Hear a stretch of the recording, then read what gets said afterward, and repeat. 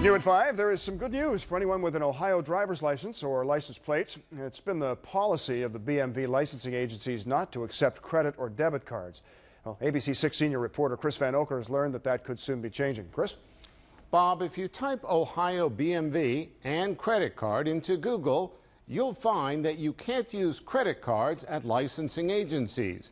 And you'll also find that some folks aren't happy about that. Hypothetically, say you have to go to the BMV to get a new license plate, but your empty wallet begs you to use plastic. Did you know you couldn't use your debit or credit card? I didn't know that. That's right.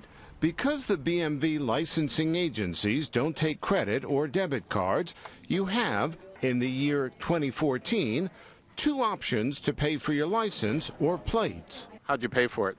With cash. I paid with a check. The BMV told us it hasn't taken plastic because it costs them and customers too much. When's the last time you went somewhere and they didn't accept credit cards? Oh, God. Uh, When's the last time you went somewhere and they didn't take a credit card? I can't even think. Nowhere. But now, the BMV says it's figured out how to make credit card payments affordable, and the committee has been formed to implement it.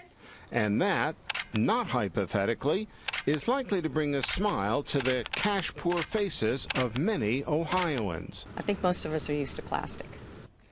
And apparently, we're not the only ones who've been wondering about this. A bill was just introduced in the legislature, one requiring the BMV to accept credit and debit cards.